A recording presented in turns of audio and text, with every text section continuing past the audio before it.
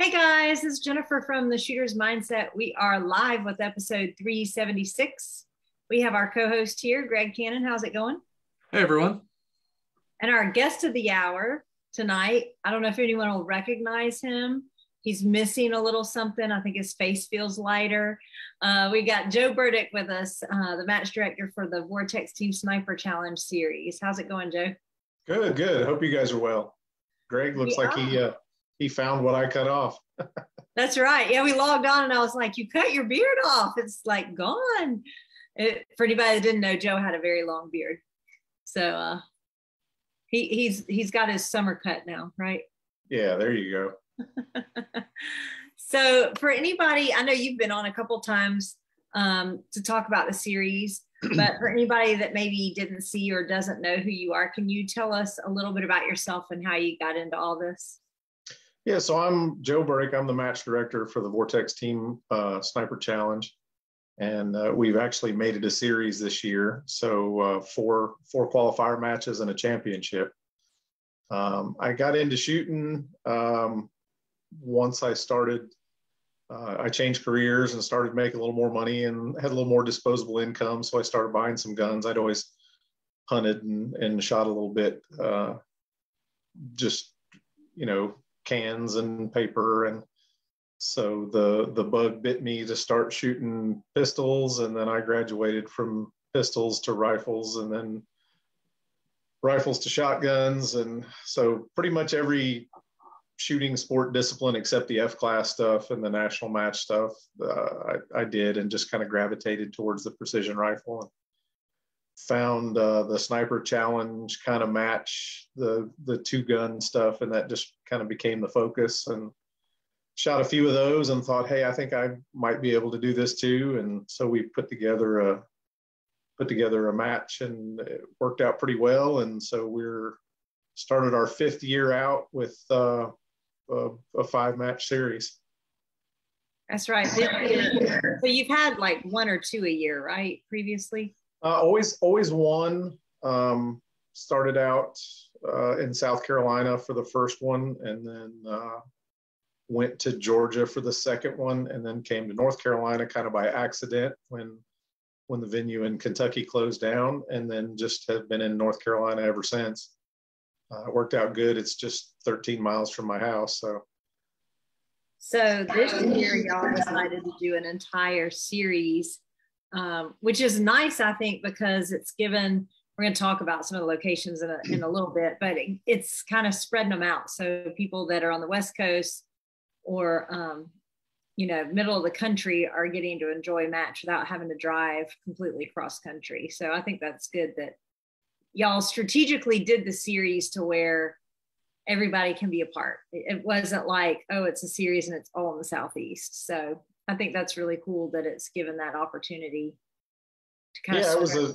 All, all, it took was a 6,800 mile road trip. that's drove, right. Drove all around looking for looking for places, and uh, we just kind of focused on the places that already had kind of a, a, a committed precision rifle community and uh, found a place in the Midwest. And, you know, we've, we've got plenty in the Southeast, obviously. Um, but we found a place in the Midwest, and then there's a couple out uh, a couple out west, and then the championship down in Texas to kind of kind of equidistant from all the other matches. so. So, for anybody that doesn't know, can you kind of tell them what VTSC is?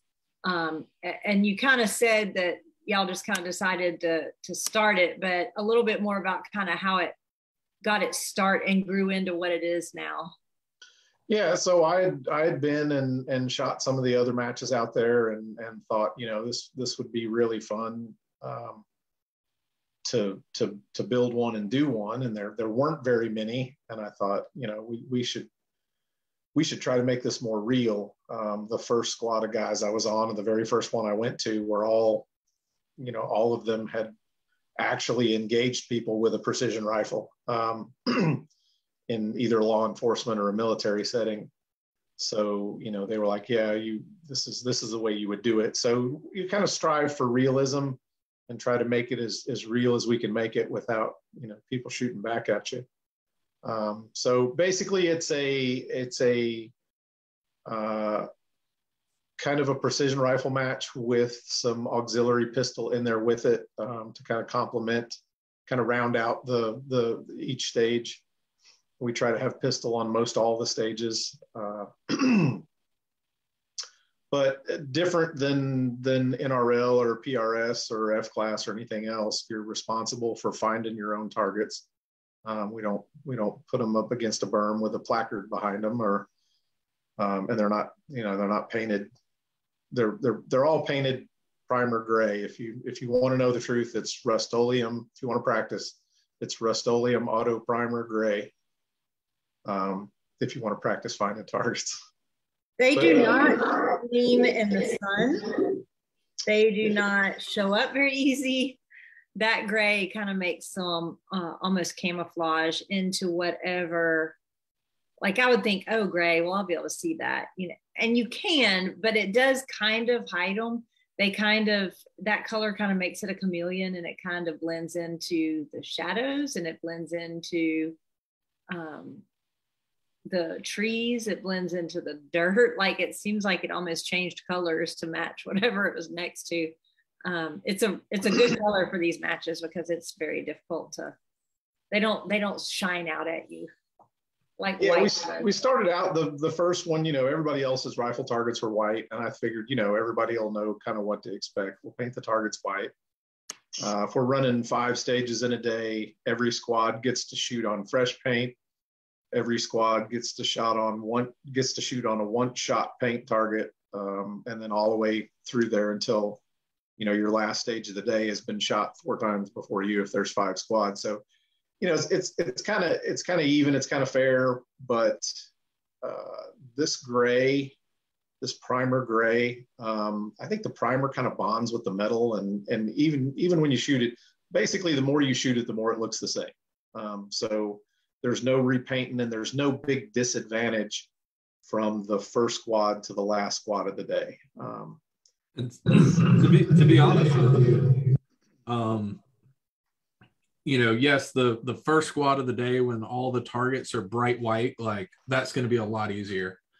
But I think that it actually makes your second, third, eighth, ninth, tenth stages of the day um, it actually makes it easier because it's a lot easier to see something that is a solid color versus even if the color is white or orange or yellow if it's all shot up and you just see these little splotches and kind of like you know it looks like a rattle can camouflage job i think the targets actually stand out better being painted gray at the beginning of the day uh, towards the end of the day than if they were painted white to begin with yeah, yeah there's uh, I see I see exactly what you mean, and, and you're exactly right. Um, we don't intentionally hide the targets, and uh, you know I've been to matches where they you know they paint them green and they paint stripes on them, and they they try to camouflage them. And uh, you know when it all comes down to it, everybody wants to go to a, a rifle match because they want to shoot.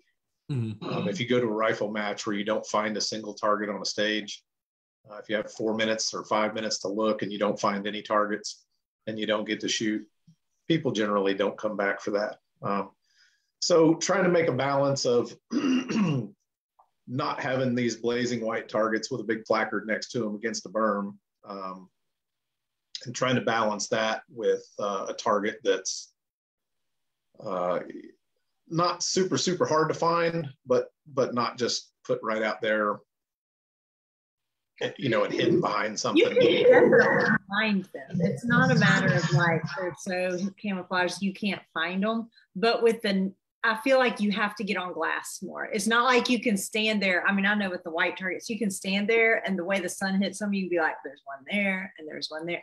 It, it forces you to kind of get on glass and look, which I feel is more realistic to uh, if you're wanting to have a sniper match, that's more realistic, right? They're not going to get down and be like, oh, yeah, there's somebody. They're going to get on glass and make sure of their target. So right, I, right. I just like that it makes them get on glass. It's not quite as obvious as um, as having them painted bright white. Um, so I think it's I think it's good. But these so, matches are more realistic. Um, yeah, and that kind of goes that kind of goes that that that goes with the with the whole theory behind making it more realistic is we don't hide targets, but we put targets in places where people would naturally gravitate to. So, you know, very rarely do you see one guy standing out there by himself.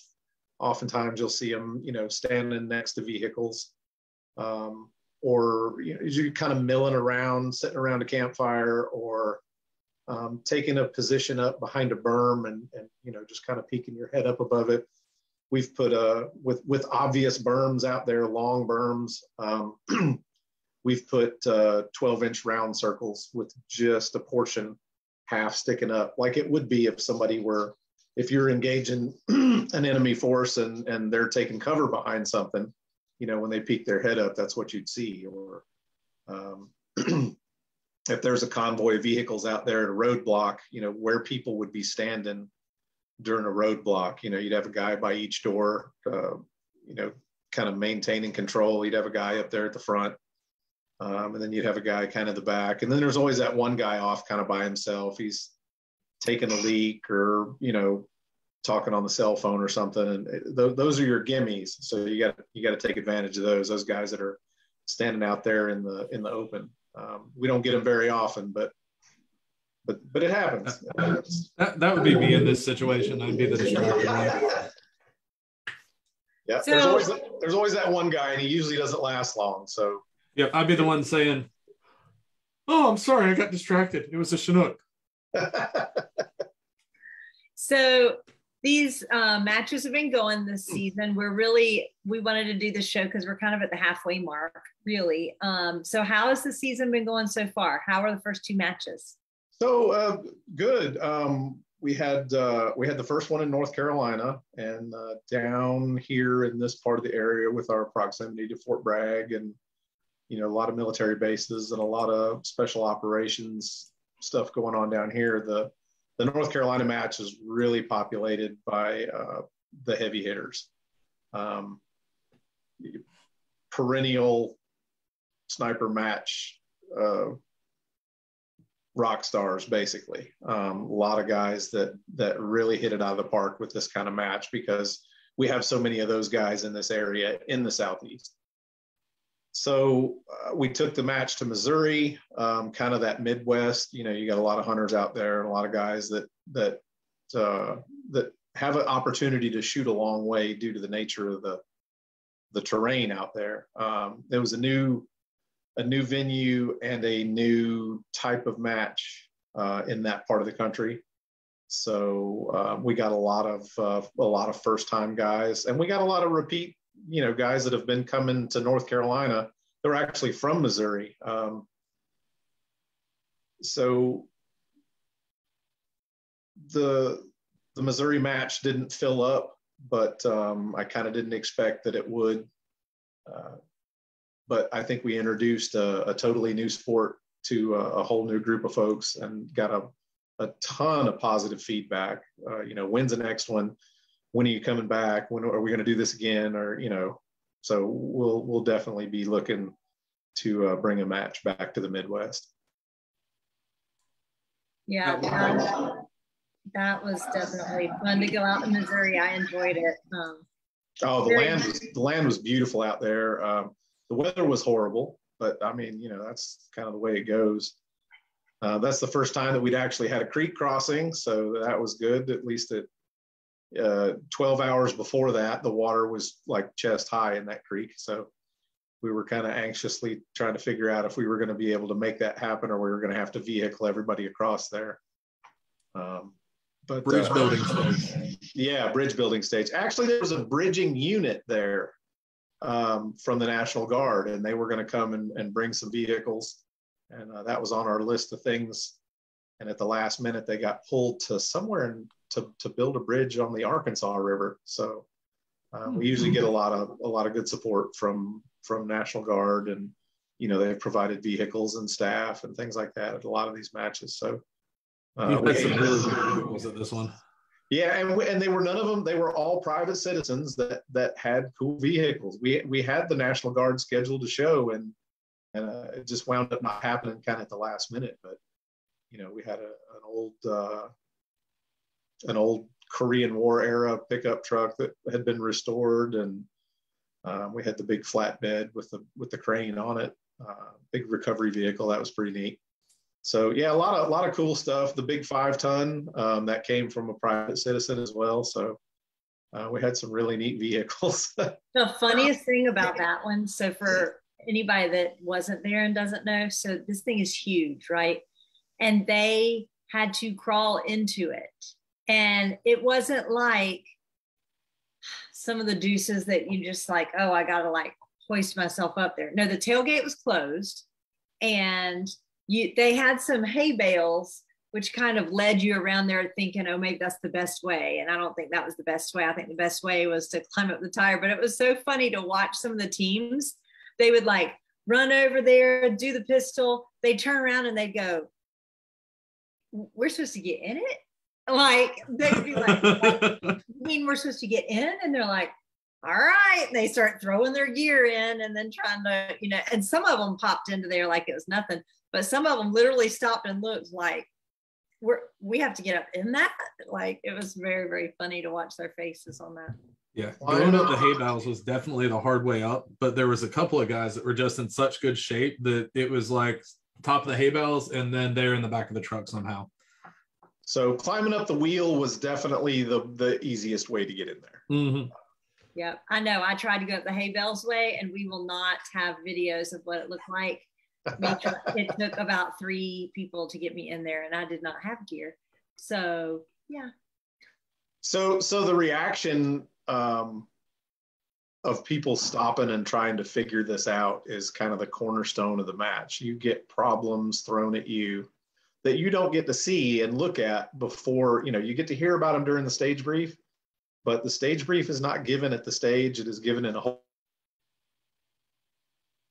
holding area and uh, you just gotta kind of use your imagination and and pick up the clues that you can that are given in the stage brief, and then you solve those problems on the clock. So um, this is much much more than just a raw marksmanship talent match. Um, there's a, a, a lot of there's a lot of pistol in it, and a lot of precision rifle guys aren't used to that. Um, and but there's also a lot of um, I won't say trickery, but but real world things that throw you curveballs that you don't often see um, hey, my the RO stops us, and my partner just got hit uh, with fragments from a grenade. Um, he just lost his strong arm, so now I have to put a tourniquet on him, and we have to continue the stage with three arms instead of four. Um, but always, always some some not tricks, but always some hurdles that you have to overcome uh, on the clock, and it's and it's all real world stuff. It's not silly stuff. There's no uh, jiggly beds or what they what they call the boat in in some places where you know the the uh, piece of plywood hanging on the chains and you're trying to you know none of that. This is this would be what what positions that snipers would take up and and try to try to make the most stable position they can instead of being forced to shoot from the least stable position possible. Um, if you can figure it out, you know, as long as pretty much is, if you can do it safely and you can solve these problems on the clock uh, and you and your partner can communicate well, you're going to do well. So, do you have any uh, highlights or favorite stories or quotes from the first half of our season so far?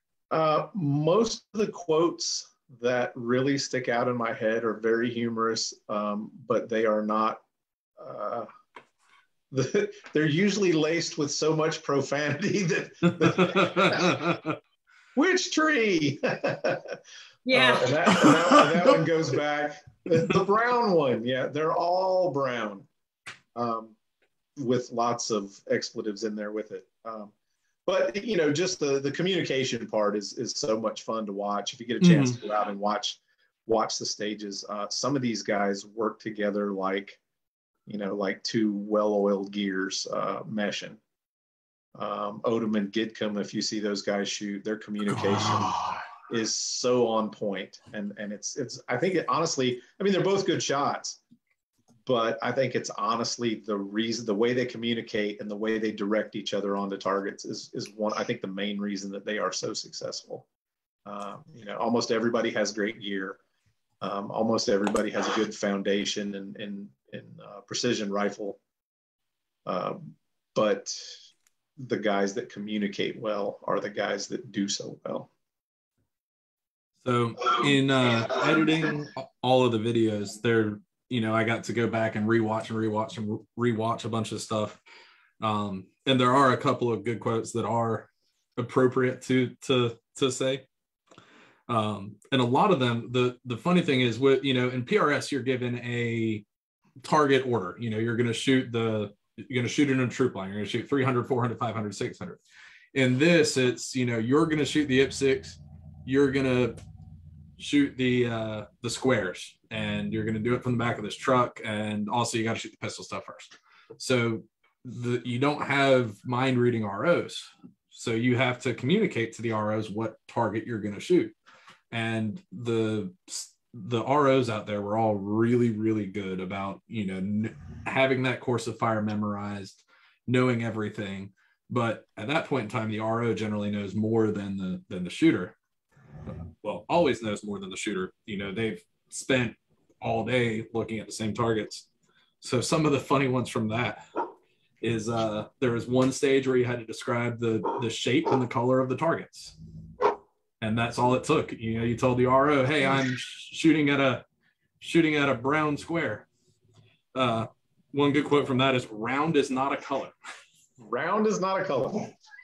from the RO, I'm shooting at the round circle. round is not a color. Um, a little bit later, you hear, "You were right. This should not have been this hard." Um, there's one shooter that was calling out, you know, he's like, I'm on the target at 736 yards. I was like, that that will not work. I need, you know, orientation, what's near it, something. And finally he's like, it's the one right over the creek or right over the water. He's like, okay. The guy shot three rounds that it all went right over the top. Then his partner comes back and goes, Oh, that was at that was at 400 yards. And he goes, That's why I wouldn't take your that as an identifier. But the yeah, best one is with Gid Kaminotum at the end of one stage. One of them calls for a time call and like in the coolest voice ever. goes, three seconds.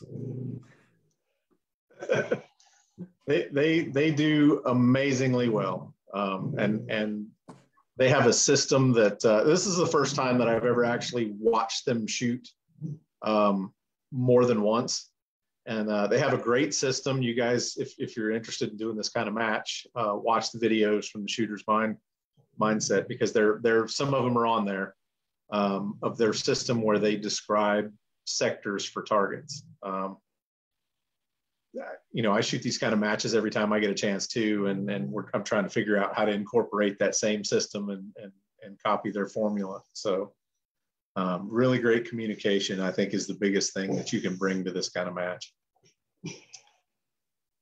So we're at the halfway mark because there's going to be four matches total. Well, five matches total, four regular matches, and then the finale, um, which people have to qualify for to get in. Um, but so two of the regular matches have occurred. And now y'all have registration opening for the third. So tell us about that one. So we're going to open registration for the third match, which is at uh, the Cameo Shooting and Education Center right outside of uh, Grand Junction, Colorado. So um, that's going to be the last day of September, uh, September 28th through October the 2nd. Um, and we're going to open registration for that uh, this coming Saturday morning at 9 o'clock. So that's what I'm going to right now is to get the word out so that if people want to uh, register for this, they can know that Saturday morning is when it's going to open. So yep. Saturday at 9 a.m., the 21st of this month. And it's going to be beautiful. I've heard it. I, am excited to go out there. I think it's. Oh, it's an it's an incredible facility. Um, there's a huge bunch of infrastructure there for the, for this kind of match uh, well, for any kind of match, really, with uh, what they've got going on there. It's a it's a state funded um, project, so you know, great infrastructure there, uh, and then it's set in some of the most beautiful country around. It's that uh, mountainous, that arid. It's it's on the western slope, so um, it's really really super dry. Um, so you got that kind of mountain desert feel. Um, really really super neat country Um, and there's a, a pretty decent road system there. So it's going to be a lot different than any of the ones that we've ever had. There's there's not a whole lot of trees out there. So um, when you think about where people like to hide, um, it's going to take something away from you. There's no there's no groves of trees to hide in. So um, partially exposed targets are probably going to be kind of a big thing. Um, but yeah, cameo is going to be cameo is going to be fantastic. Um, I kind of grew up in Colorado on the on the other side of the mountains, but um, uh, I love going out there and, and can't wait to get back out there. And I'll, I'll be going out a month early and um, working working on it out there. I've got some of my core guys that come from North Carolina with me, uh, and uh, even from Indiana. So we're, we're going to have a good time. We're going to put on a great match out at Cameo. Um, it's going to be lots of great food. Um, we're working on entertainment, um, but we'll like the the other matches that we've done. You know, we'll have a big meal for competitors and and guests um, on our uh, on our vendor day. Uh, so it'll be free food for everybody that wants to come and check out all the vendors and the sponsors and um, we will uh, also do a big meal for competitors and staff and things after the match. So we're, we're trying to trying to fill in the the the Thursday with um, some some fun stuff that maybe we haven't seen in any other matches. That's cool. And y'all do really try and make it into like an experience, uh, a weekend, you know, so it's not just like go shoot the match and go back to your hotel. I think it's uh, fun that y'all do that and have different things. We're going to talk about some of the classes in a little bit, but um, but yeah, so I think it's good. So yeah, we want to we want to get the competitors out. Um, you know, everybody has to come in and you know kind of check in and everything. So we figure you know we, we want to get the competitors out and uh, you know get them fed and get them registered, get them zeroed, um, have them uh, have a chance to to interact with the with the sponsors and. Uh, and we also want spectators to come um, for a couple of reasons. We want spectators to be able to interact with the sponsors, and the sponsors um, get to promote their product with uh, maybe some some new people, um, maybe you know a new a, a new market, um, somebody that's not into precision rifle yet. Uh, maybe they can uh, sway some new interest there, and then you know we also want to get those people uh, to see what this kind of this kind of match is all about, and maybe get you know get them into it as well. So we have the one in Cameo, and then what's the final qualifying match? So the final qualifying match is um, is going to be another spectacular uh, natural terrain match in the the far southwestern corner of Utah. So down around Zion National Park. It's actually just 15 or 20 minutes from the gate to Zion National Park. So um, it's on a private ranch out there. Um, you know, big canyon land type desert. And this is true desert. Um, elevation's not as high as it is at, at Cameo. So different climate, you know, but, uh, you know, rocky, red sandstone, a lot of that. Um, but it's incredible place, incredible, probably the prettiest place that we've ever done one of these. Um, if you like that canyon land, Utah kind of feel um, when I was out there before, the uh, the landowner, you know, we're out there doing the tour, and he's like, "See that fence post there? You know what that is?" And I was like, "No, no, what?" He's like, "That's Arizona." So we're all the way down in the corner. Um, he said that he said my family used to own the other side, um, but uh, they lost it in a poker game, I think. oh wow! a bunch of land, yeah, a bunch of land there, but uh, lots of land out there, lots of acreage. Um, some really cool places to shoot, um, some things that you won't get to see anywhere else in the country. Um, That's cool. But looking looking super forward to doing that. Uh, and it's about a two and a half hour drive from Las Vegas. So Vegas would be the closest airport. Uh, St. George is a smaller airport, kind of like Grand Junction is to Colorado. It's uh, but Vegas is the the the the best the biggest airport close by. Maybe I'll get that uh, free rental car upgrade I got when I was there for Shot Show. Yeah, there you go. That's the cheapest place in the world to rent a car is Vegas. I I uh, won that one. I came down in the morning because uh, Sunday we, we flew in, flew in a little bit early and Sunday I was just going to go adventure out in the wilderness by myself and I rented a small SUV and I get down in the morning the guy's like how about a convertible Camaro? And I'm like yeah. All day. Yep. That was awesome. Yeah. Um we got a couple lives.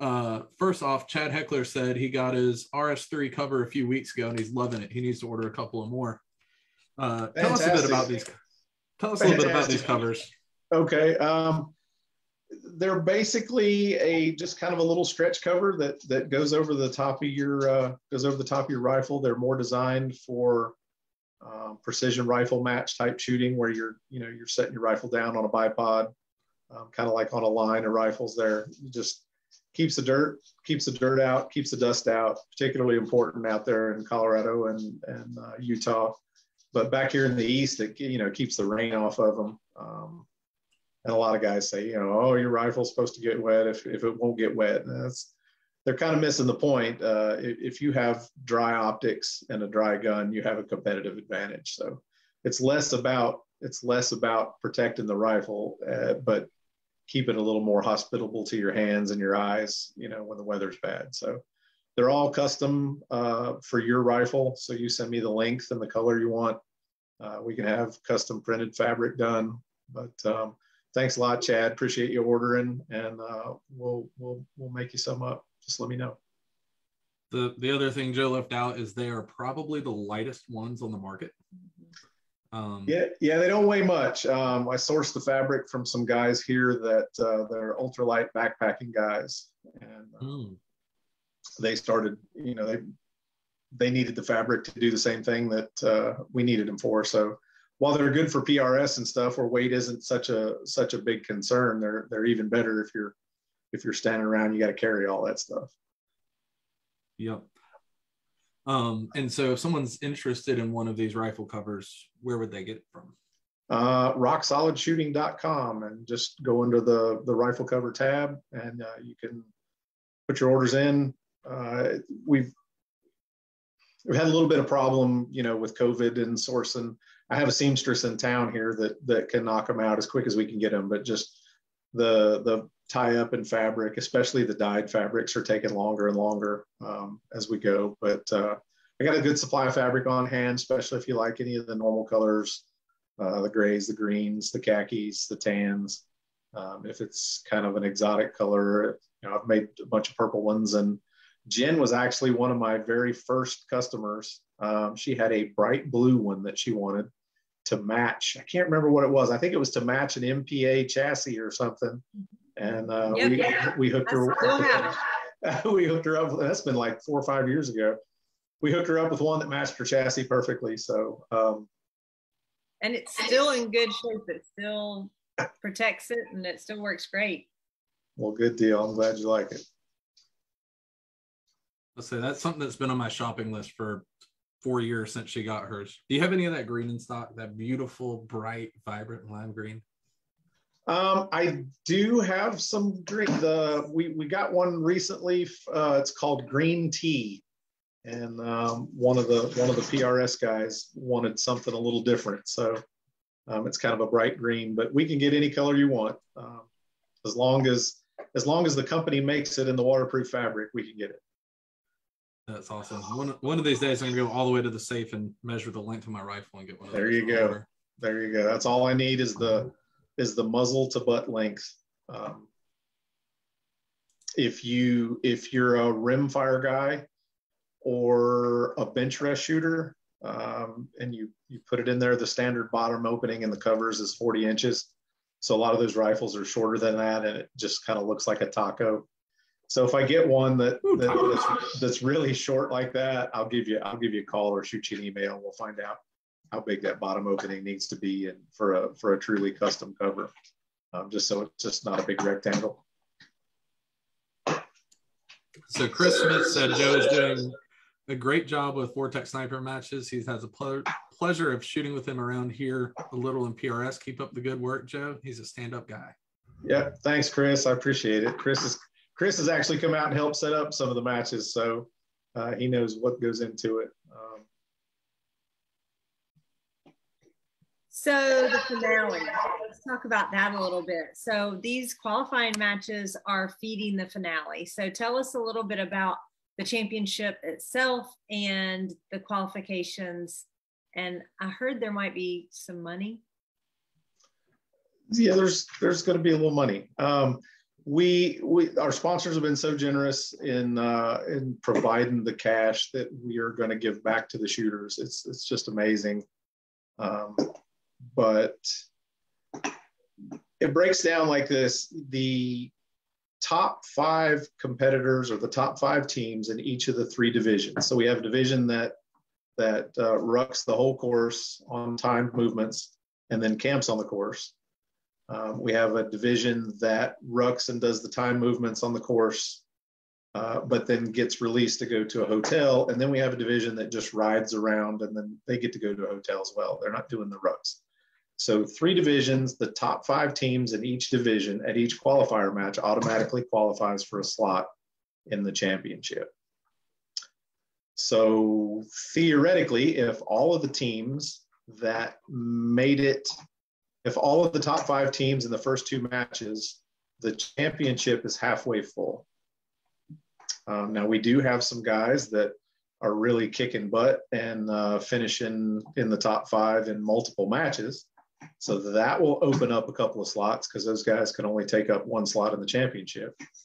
And then we have some guys, you know, that can't make it. Uh, we got a lot of military and law enforcement that get deployed and you know have to do coverage for big events. So uh, sometimes some of our guys that, that finish up there close to the top aren't going to be able to make it. So uh, we've kind of come up with a formula as to who gets in um, after the after the offerings have been sent out to all of the uh, all of our top five finishers in each division at the qualifier matches. So we're going to start with um, those those guys are automatically already in. Um, after that, when when we when we've heard from all of them that are going to be able to make it, either yay or nay, uh, we'll open that up to members that have shot members of teams that have finished in the top five, but their partner can't make it. So you know, if me and my partner finish third in in Missouri, uh, and my partner gets deployed or something, then uh, we'll open those slots up for a brief period of time you know, for a few days for those guys that that qualified, basically half a team. And then from there, we'll go when when we've heard from all of those folks, uh, we'll give them a few days, and then when we've heard from all those folks, we'll go to uh, teams that have shot the match in the past. So maybe maybe you were sixth or, or seventh, or you know just liked it enough that you want to come shoot another one. Um, we'll open that up for for prior contestants of any of the qualifiers. And then when we've heard from those folks, uh, if we don't, you know, if, if there's still slots left after that, then we'll open it up to um, the dark horse teams, the general public. So there's still a chance to get in if if you if you can, but I think those slots at the championship are going to go pretty quick, uh, considering the the prize tables and the the um, the cash payout that we're going to do.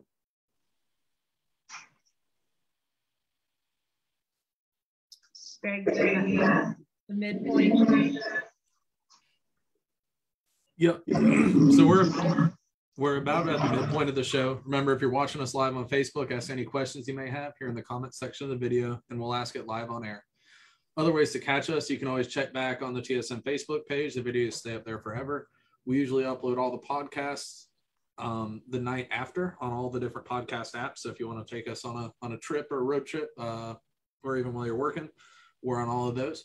And then finally, everything will be uploaded to the Shooters Mindset YouTube page. So if you're wanting to look back, and you know, we're on episode what 376 right now. So there's 375, 374 uh, episodes posted up there for your viewing pleasure. That's fun. So I think this finale is going to be a lot of fun. I think it's going to be neat to see all the teams because um, we had a different group of people in Missouri than North Carolina. So I think it'll be fun to see all of them go head to head. Oh yeah, well I, I saw some guys shoot there uh, in Missouri that had no experience doing this kind of thing. It was their first match of this type at all, and they just absolutely demolished the stage. Uh, I was I was just kind of awestruck. I was like, wow, I made this way too easy. And then I watched a few of the teams after them shoot, and and they struggled, and I was like, man, those guys are really just that good. Um, no experience doing this, no military experience at all um, a couple of hunters uh, from Missouri, and they just absolutely crushed it. So um, this this isn't just for military and law enforcement guys. There's a lot of guys out there that that have a good base and and and just kind of think through problems. And you don't even need to be old enough to drive. No, we had two 15 year old guys there qualify for the championship in their first match of this kind. Um, uh, both both three gun guys um, and and just super good kids, super respectful, great to be around. Um, really, really hanging out with those guys really gives you uh, hope for where the shooting sports are going. Um, if we can keep attracting people like those kids, um, fantastic, fantastic shooters, and just such great attitudes um, through the whole thing. And they qualified for the championship on their first their first run. So um, I can't wait to see them in Texas. I know they'll be there. They did very well. We're very excited. They were very excited to be there and to compete. And um, yeah, I, I, I don't know that I've seen competitors as excited as they were just to be there. Like they said, we're just going to go slow, try and, you know, get some points on there. And I think that it worked well for them because they did communicate well and they, they did a good job.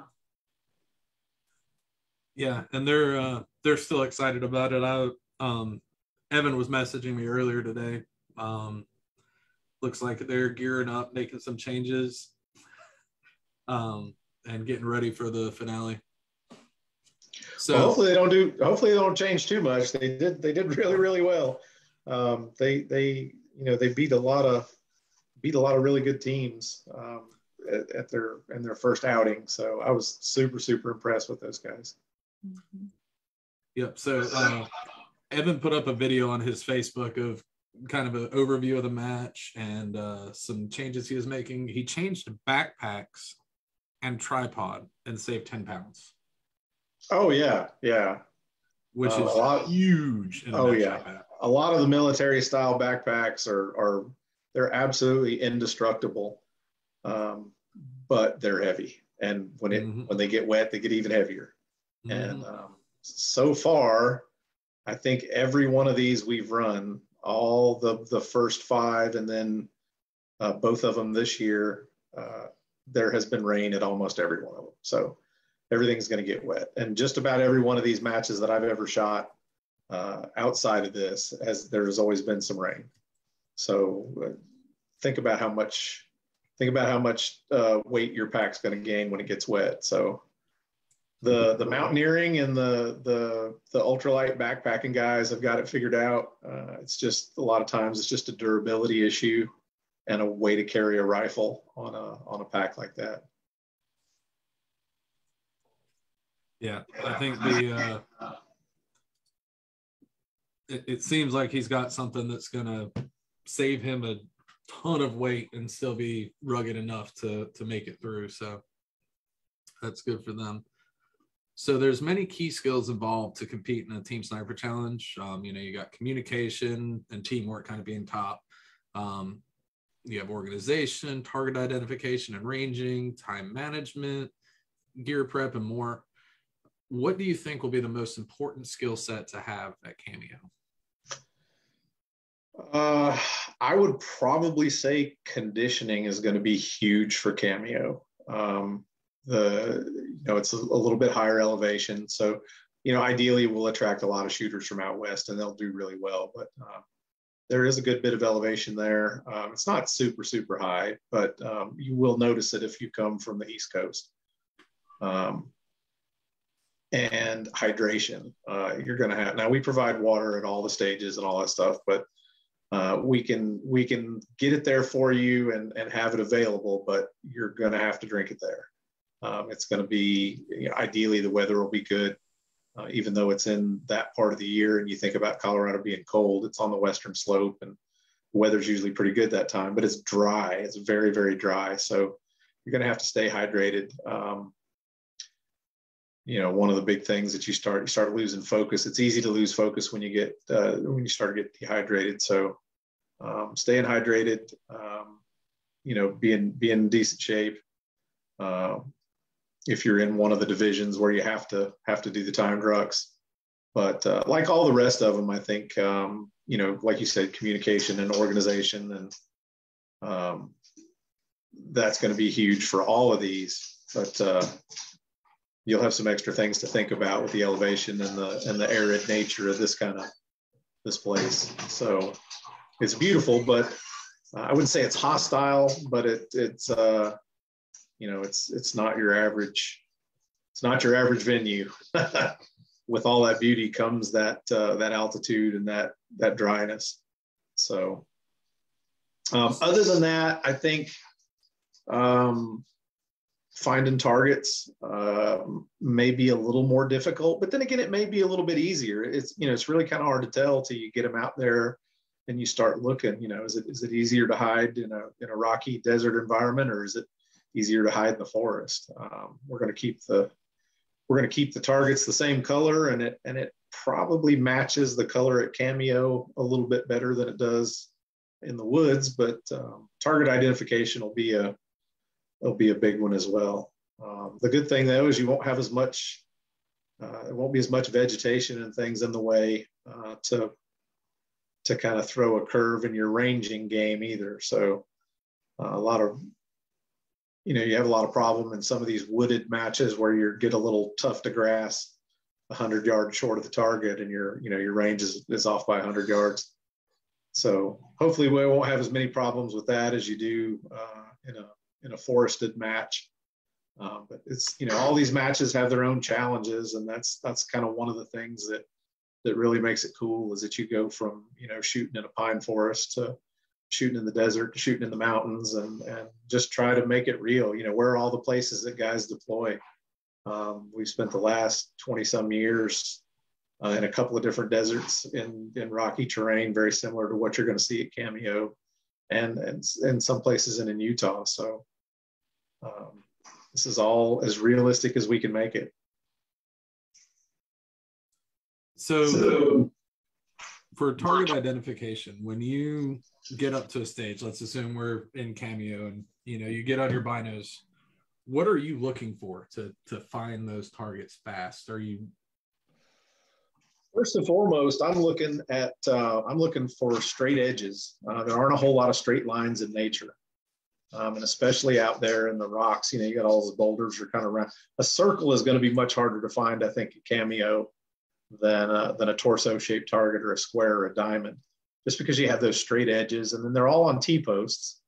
Um, all of our you know all of our targets mount on a T post, so um, that T post is kind of a not a giveaway, but it's a it's a target a target indicator. Um, but uh, you know a lot of straight edges, uh, a lot of um, a homogeneous surface or something that's flat that kind of that, that takes that that shape or that reflection whereas a, a rock is going to be round and have more than more be more dimensional. Um, i think those two are going to be the the biggest things. And then don't forget you know we put targets where people would gravitate to. So um, you know like i said i'm not going to hide them behind a rock uh, but if if there's a if there's a line of rocks that that you think that there might be uh, an advantageous point. So uh, you know, if you're gonna you're gonna try to get elevation on somebody that you're that you're trying to to war against, um, there's going to be a lot of opportunities to look up and uh, to find places where people would hide. Um, it's not necessarily a counter sniper match uh, where a sniper would be looking for you, but um, it's where you would be looking for targets. So generally, if you're out there and, and in an environment like that, you've been in the woods for a couple of days looking around, and all of a sudden you come up on vehicles. Um, hey, there's vehicles there. There's probably people around the vehicles. Let's let's see what's going on. Um, same thing with aircraft. We've had we've had aircraft uh, airframes out on the on the firing line before. Uh, we've shot from them. Um, but thing places that you would would gravitate to if you were uh, deployed and in a in a combat situation. So um, that's another another key to, to places to look for. They're not going to stand out in the open. So if you see a if you see a tree line or or something like that, you know you, you want to start looking along that tree line. That makes sense. And uh, in watching some of some different people shoot your stages and seeing where you do place targets, um, when you first told me, you know, when we first showed up to the first match, you kind of told us a little bit about that. You know, all the targets are in where the people would be, and it really is true. You know, it's like, oh, there's a there's a target on this road. Oh, look, you go up the road another 20 feet. There's another target. Oh, look, you go up the road again. Oh, look, there's this like overlooking edge here that's hanging out. There's a guy there. They're yeah, not like people, behind a tree. Yeah, people are people are generally kind of lazy, and if there's a road, they're going to walk down the road most of the time, unless they're, you know, unless they're directed otherwise. Um, animals do the same thing. They walk along game trails. Uh, if you can find a game trail, you can usually find game. That's why the trail's there. So people people do the same thing, um, and and and that's where that's where you'll find the targets uh, in the same same spots. So when you shoot these matches, do you have kind of a, a I know we've talked to some teams that do this where they have a calorie intake plan and a hydration plan where it's okay, you know, we're shooting this many stages on this day. We have this for the first stage, this for the second stage. We have to make sure we drink this much by this time. Uh, we don't plan that out for the contestants. Um, no, as, I, as, a shooter. Oh yeah, as a so so my partner and I, you know, we we we shoot these matches every year, and uh, we have it planned out to the absolute nth degree about how many calories we're going to take in, and you always like to have a little bit extra, but you don't, you know, you don't want to be carrying around a bunch of stuff that you're not going to use. Um, how much fuel do we have? You know, we switched fuel canisters at the last minute uh, this past year and uh, went to half as much fuel and still had fuel left over. So uh, you try to make everything as light as you can. Um, you know, everybody, it's it's doable to carry a heavy rucksack. Um, I could add 10 pounds to my rucksack and still make all the rucks. But then you start adding that fatigue, how much that takes out of you. Um, so when you get to the you, when you get to the stage, you're less tired. You make better decisions. You think more clearly. Uh, the less fatigue you are, because fatigue is a big thing in these matches. So yeah, we we absolutely want to. You absolutely want to try to plan out um, your your calorie intake and think about how many calories you're going to burn doing this stuff. I mean, you know, some depending on how much you're carrying and how far you're going, you know, you can burn 30,000 calories, 40,000 calories in a weekend um, you can't possibly eat that much um, and and carry it all but so you, you need to put a lot of thought into what type of food you're bringing um, and and bring as much of it as you can as you can eat and can that was I mean I was going to say yeah I mean I can eat 40,000 calories I just can't carry 40,000 calories yeah it gets to be uh prohibitive when you're having to carry it all. It does does. There you have to weigh the, you know, the pros and the cons to it. Yeah, and the same, you know, the same holds true for your ammunition. Um, you're you're going to carry, you know, everybody would like to have as much ammunition as you can carry, but um, you're you're not going to use it all. But you know, the only way to score points is to is to hit targets. So you got to have enough to you got to have enough to get it done, but you don't want to carry twice as much as you need. So those calculations are one of the things that make this match so much fun. Um, uh, it's, it's there's so much more to it than just the shooting. So you know you don't have to be a, a world class marksman or a or a world class um, a world class athlete, but to to be able to combine a bunch of those skills, good observation, good communication, uh, decent fitness, uh, decent uh, decent marksmanship skills, um, and good problem solving skills will take you a long way in this in this type of competition. So, speaking of skill, because um, I do think that doing these matches takes a whole new skill set. It's not just um, shooting. You could go out and practice shooting for forever and still not do well in this match if you don't know absolutely how to pack, how to eat, um, how to communicate with your partner, how to range, how to find targets. Like all of those things are are big things. So um, y'all try and offer some classes. So I know Vortex is obviously it's the Vortex Team Sniper Challenge. They're a huge sponsor of this, and so they um, they are there all the time, and they're teaching some classes on the rangefinders. What other classes do y'all have there? Um, so we we do a, the Stop the Bleed class, which uh, you're familiar with the instructor there. Um, I heard she's not that great. Yeah, she's, uh, she's no, pretty she's, bad. She's awesome. She's awesome. She's um, running away. Yeah, she kind of disappeared on us. Um, so Jen teaches the Stop the Bleed classes. Um, we developed a thing this year. Uh, if you have a tourniquet on your person during the stage, um, and you you carry that through the entire match, then you can add points to your final score. So a team can score two points, not hit a target uh, all weekend, and still still score some points by having a tourniquet on hand. Um, and rather than just have everybody have one and not know how to use it, um, we we usually have uh, three three or four classes uh, on that Thursday on how to use it and, and how to um, how to carry it and store it and and use it when you need to. So we try to we try to throw that in into the match. And you know you never know. You may you may have to use one during a match um, on the clock uh, as part of a stage.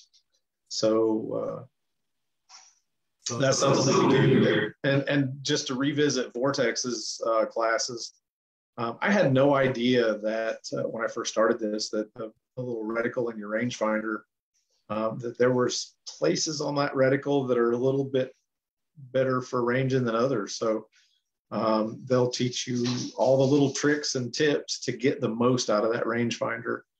Because uh, there's, you know, you can you can kind of fine tune them a little bit and uh, use them in some alternate ways and and teach you some strategies on using a rangefinder um, on on natural terrain that that that will really really help you out. So I highly recommend the Vortex classes. Um, and I, I, definitely highly recommend the uh, stop the bleed classes. Um, so even if you know, even if you know how to use it, even if you have the tourniquet with you, if you don't know how to use it during the match, you know that might come back and bite you in the butt because you might be required. Uh, that RO may want to do that two finger test and see if he can get two fingers under there. If he can get two fingers under there, you might not have it tight enough, or you might have it too tight. Um, you don't want your you don't want your part you want your partner to be able to still shoot. It is a simulation. Uh, we're not trying to completely cut the blood flow off, but you do need to know how to use one. You do need to carry one. Um, you need to have them in your car. You need to have them in your person, um, on your person. Uh, and you definitely Sorry, need to have one. What y'all were because somebody came to my door, but uh, I agree completely. And like my kids give me a hard time because they're like, Mom, you're that mom that made us carry one in high school. But I taught my kids how to place a tourniquet and they still have them in their backpacks. Um, so yeah, they uh, definitely, I'm not sure what y'all are talking about in the chat because I missed some of that, but it is, it is entirely inappropriate.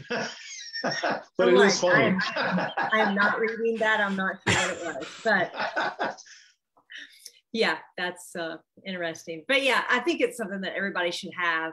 I mean, anymore, there's different shootings going on every week. It seems like grocery stores, churches, um, and having that really can save your life. I, I'm a trauma nurse and have seen multiple people saved by tourniquets. So I'm a big advocate for them, obviously. That's why I teach the classes. But um, yeah, I definitely think it's a good thing to have. And it's such a cheap thing. I mean, they're 25 bucks off of Amazon and then you have tourniquet. So I, I guarantee you by the end of the year, we will have a story come back from somebody that shot one of these matches that saved somebody's life with a tourniquet. Uh, it, it, it, probably won't be a shooting. Um, but you know, people people have bad, you know, axe accidents, saw accidents, construction accidents. Um, I, I promise somebody will have saved somebody by the end of the year.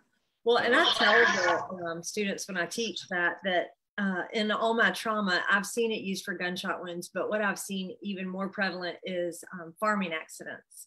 We have rural areas that get flown into my hospital, and um, we've seen a lot of you know amputations, things, horrible injuries from um, from farming accidents because they have a lot of equipment that like don't ever get on a farmer's bad list because I'm convinced that they can like kill you and no one will ever find you. like uh like Carole Baskin's husband.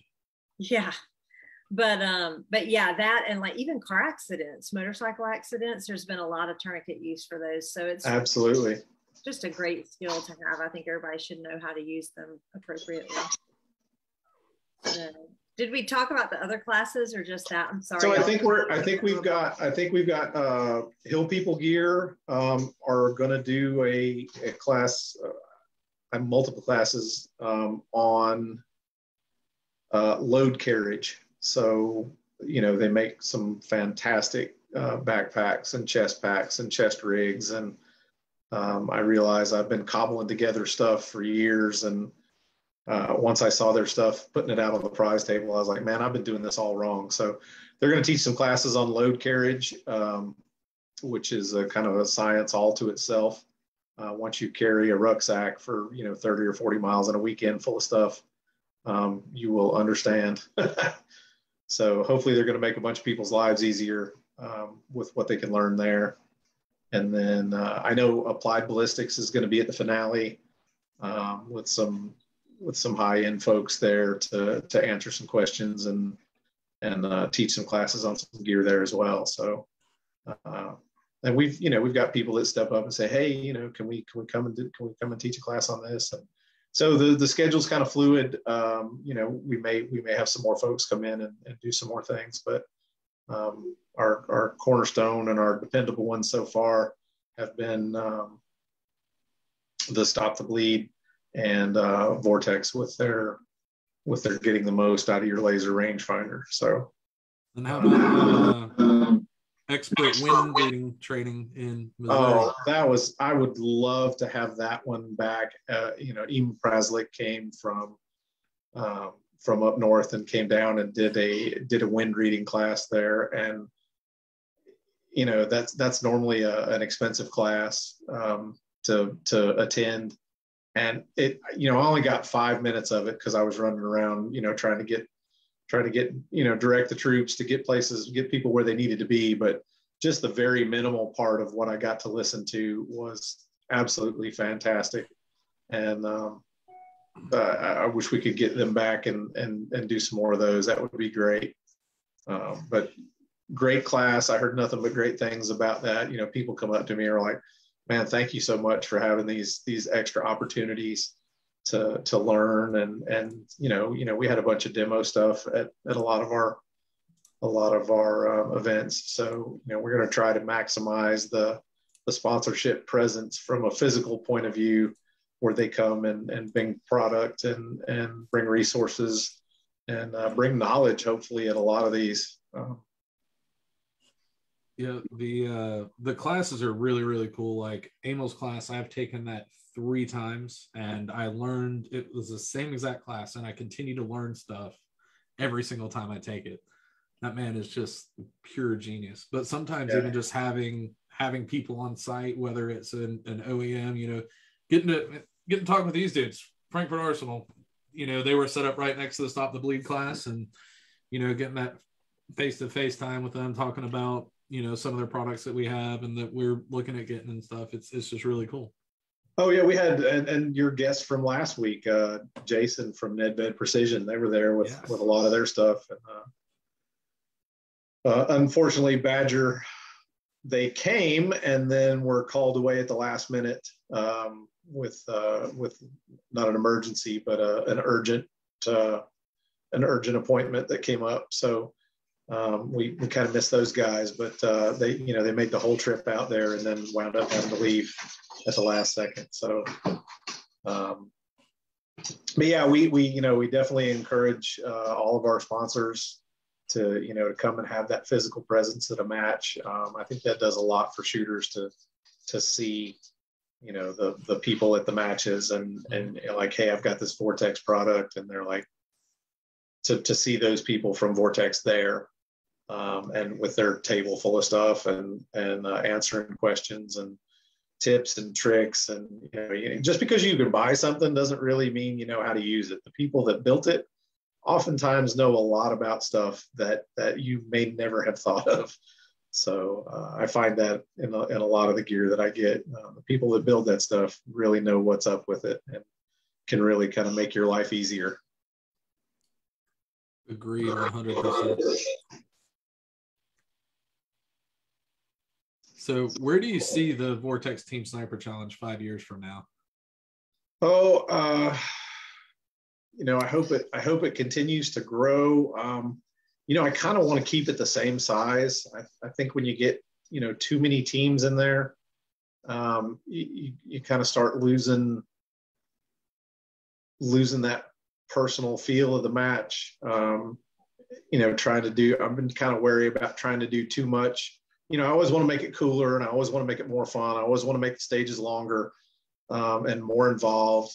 Um, so being able to keep it, uh, keep it a small enough match that, you know, you know people and, and um, you have that, that feel of a, I don't kind of not, not a unit, but that camaraderie from, from sniper challenge folks. Um, that get there. You know, you go to these and you see some guys from around the country and you see all these new faces and that common interest, uh, common interest thing, you know, goes a long way for this kind of stuff. But, you know, we're definitely trying to attract uh, people from other disciplines. We've had some really high end PRS guys come and shoot and some high end NRL guys come and shoot and uh, did quite well. So uh, we definitely encourage those guys to come out and, and, and give this give this aspect a long range shooting a try. But um, I definitely want to see this thing, you know, grow and and, and get bigger. Um, and you know, just have more spectacular stages.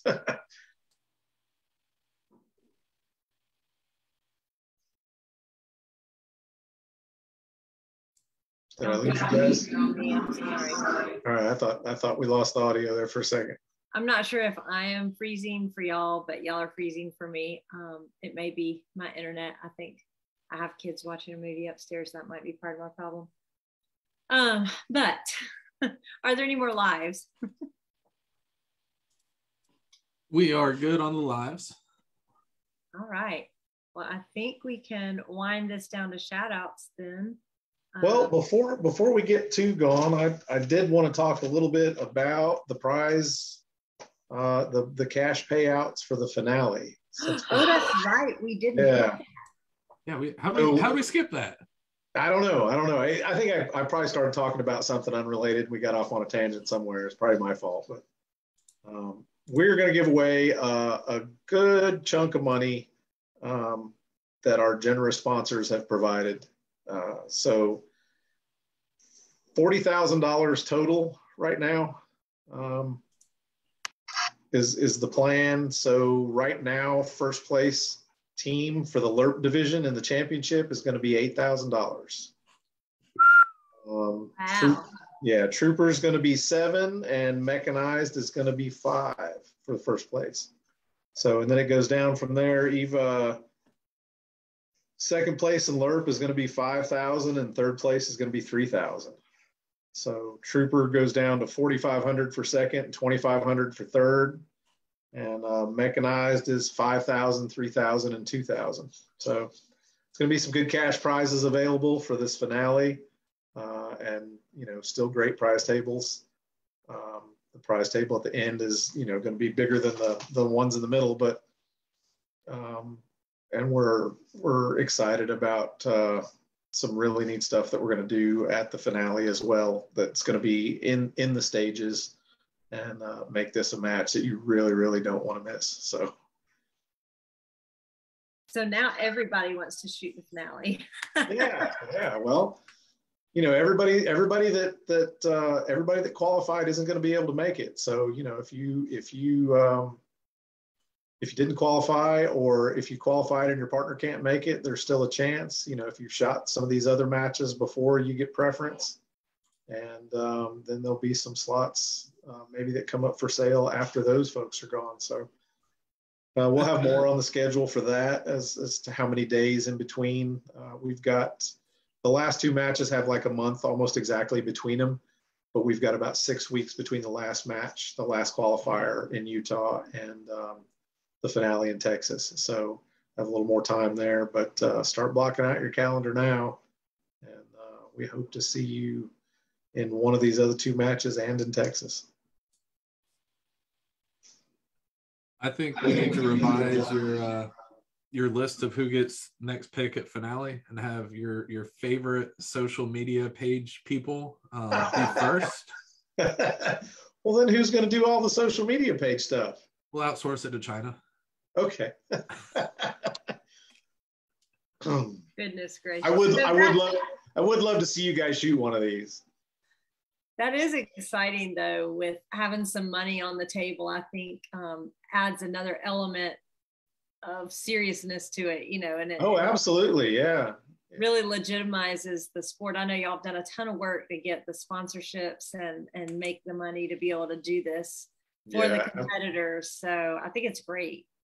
Absolutely, absolutely. Vortex really took the lead on on heading up a lot of the sponsorship stuff. Um, Nick, who was the was the co-guest with me last time, um, you know, really, really hit it out of the park with all of the sponsorship stuff. So we're um, really excited to be able to bring this level of return to the shooters. You know, uh, shooting these matches is expensive, and to be able to to be able to get a payout at the end for doing well, I think is you know something that the, the sport needs, and uh, I'm just super, super excited to be part of it a lot of these teams have really put a lot of money into it because they've been shooting these team matches, you know, doing mammoth, doing different things, improving their skill sets. And um, so I think it's great to see them possibly be able to, you know, reap a little bit of what they sowed. Yeah, and I think that's only going to get better as this genre of matches becomes a little more mainstream, um, and we get, you know, we get more more people in it because there's there's no reason that your big high end PRS and NRL guys can't come out here and do really, really well at this. They've already got uh, they've already got one of the big pieces figured out. Um, it's you know from there it's pretty much just logistics and fitness and um, you know th- th- they've already got a leg up. So we'd, we'd love to see more of those guys come out. Uh, and you know as always we started this for our, our military and law enforcement guys um, you know, those are the guys that do this as a job, and uh, we definitely always love to see them come out and do it. You know, they've got they've got a lot of the communication piece and a lot of the uh, the tactics piece down already. So, you know, they've got a leg up in that respect. So, definitely, just uh, you know, take what you've got and build on that. Um, and you know, there's there's a lot of different a lot of different careers and a little a lot of different hobbies that could be really successful at this at this um, at this level. Uh, even your three gun guys, um, you know, there's a lot of pistol in these matches, and uh, there's a lot of a lot of quick movement and, and building, you know, getting in and out of position, and you know, three gun and USPSA people, you know, they they've got the movement down. Um, so you know, everybody everybody that in the shooting sports has a little piece of this already in their arsenal, and they, you know, you just just work at the work at building the skills that um, that you don't have, and uh, you know it's you can be really really successful, especially if you've already got a leg up from one of the other sports. And, and you know the same goes for your for your um, your mountain hunter guys. Um, Colorado's full of a lot of uh, backcountry guys that that hunt at altitude and put in a lot of miles in a day. Um, so you know they've got a leg up in that respect there's a lot. I feel like these are matches that someone could come in that um, maybe has some of the different skills and could come in and really do well. Absolutely, absolutely. Look at our, our you know, our, our little young three gun guys. They come in and knocked it out of the park on their first one. Um, you know, they they struggled a couple of times with the with the physical part. Um, you know, the they're one of the greatest things I've ever seen at any of these matches. And this goes back to what you were talking about, Greg. Was a good story. Was um, we were waiting and uh, they they didn't look like they were going to make the the ruck time, and uh, their mom was actually on the course and she was. You know, she was looking at her watch and looking down the road and waiting for them to come around the corner, and they didn't. And so I was like, "Oh man, I hope these guys make it." And as as we were driving off, I could hear the whole rest of the squad that was already finished, I could hear them start cheering and uh, start, you know, screaming encouragement. And as they got closer, you could hear the clapping and they crossed the finish line with, you know, just a few seconds to spare. And uh, the whole squad went nuts and you could, you could hear them through the woods. And I was like, I know what that sound is. Those guys, they actually, they made it. So um, that was great. I wish I'd been able to be there to see it but even just hearing it through the woods was awesome. That that level of support from the from the other guys in the squad. So, but they, you know, no no no real long range experience and and you know no no physical match type experience like this. Um, and they did really really well. Uh, based, you know, they they shot pistol well, um, and they they worked together well. So and you know being that young they're always eager to learn and and you know they don't have as many bad habits to break and they don't have as much ego to to try to you know beat each other up with so they, these guys are going to be awesome they're going to they're going to do really well if they stick with this they'll be they'll be at the top of the game in short order that's right they might buy more gear absolutely do we have any more lives greg we are good on the live side of things. All right. I think that we covered everything now. Yeah, I think we got it. Um, so we'll start with you, Greg, for shout outs. All right. I have GSL suppressors, uh, shooters and sharpshooters of Augusta, our local indoor and outdoor ranges, PDC custom for the most beautiful rifle chassis known to man, Shooters World powder, hunters HD gold. I'm super blind, but not when I wear those. They're awesome. They increase the contrast, so that gray will stand out a little bit better with your Hunter's HD Gold. Um, Fix It Sticks and Vortex. Joe, what shout outs you got? Uh, just you know, all the great sponsors that that um, that have that have helped out with this match, and uh, you know, first and foremost, Vortex. Um, you know they've been the, the cornerstone for all of this and, and, you know all the other assistance they've given with the with the tents and the sponsorship and the the, the support the offside support um, all my guys from north carolina and indiana that that came out and helped build the match um, john and jeff and toby um, those guys have been huge for me um, getting this stuff done so um, just just a really great community of folks um, that have come out and tried to you know help make this successful. All all of the sponsors from the the, the lowest level all the way up to the you know to the big dogs um, have really stepped in and, and made this amazing.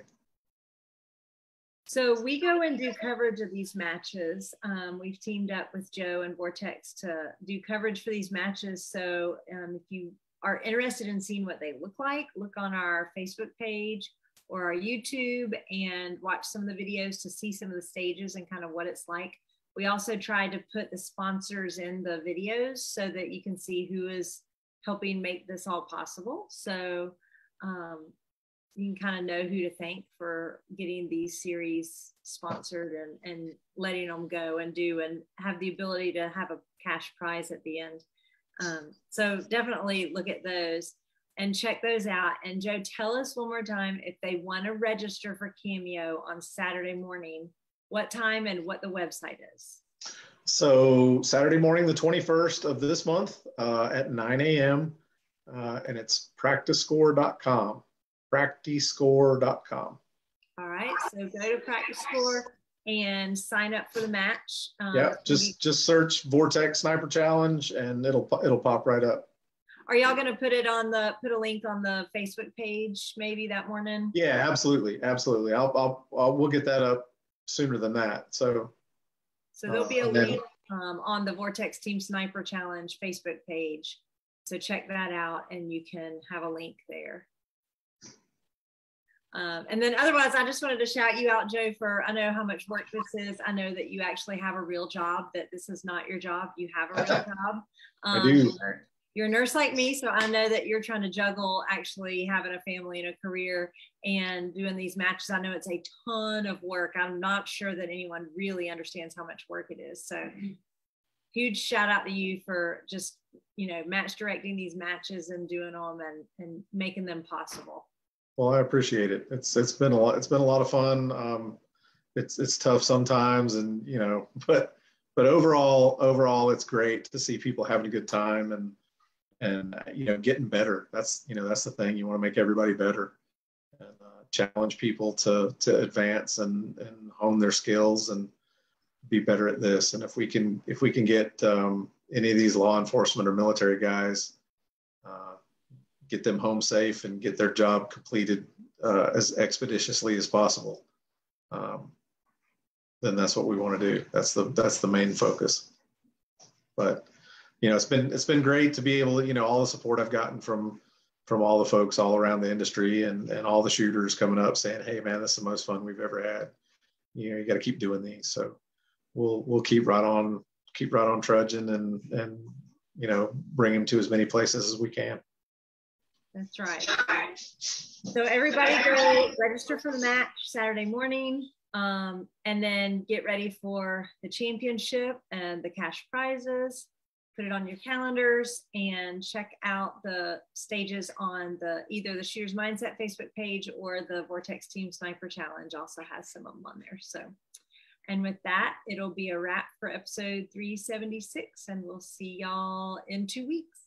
All right. Take it easy.